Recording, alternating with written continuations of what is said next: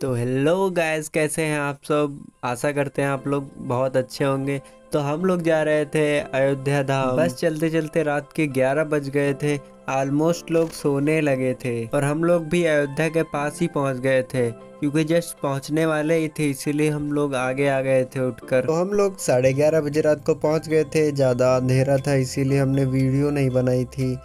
और सुबह चार बजते ही सारे लोग सरयू नदी में नहाने के लिए चल पड़ते हैं। चलते चलते तो छः बज गया भाई, क्योंकि ज़्यादा दूर थे हम लोग। मेरी बस ज़्यादा दूर पे खड़ी थी। हम लोग आ तो गए थे नहाने के लिए, पर यहाँ पर तो यार घाट बने थे, पर हमको तो नदी में नहाना था। इसीलिए हम लोग यहाँ से नदी की ओर जाते हैं।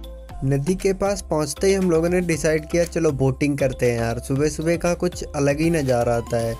बहुत पीसफुल लग रहा था और वह इतना पानी ठंडा था इसका कुछ कहने को नहीं। सरयू को देख के तो सरयू लग ही नहीं रहा था। ऐसा लग रहा था कि गंगा माँ ही है, क्योंकि इतनी लंबी कि इधर से दूसरा छोर ही नहीं दिख रहा था भाई। बोटिंग के बाद हम लोग नहाने गए, जो कि हम लोगों ने कुछ पिक्चर्स क्लिक करी और प्रभु श्री राम जी के जन्मभूमि पर आए हैं। ऐसा हो ही नहीं सकता कि उनकी सेना न दिखे।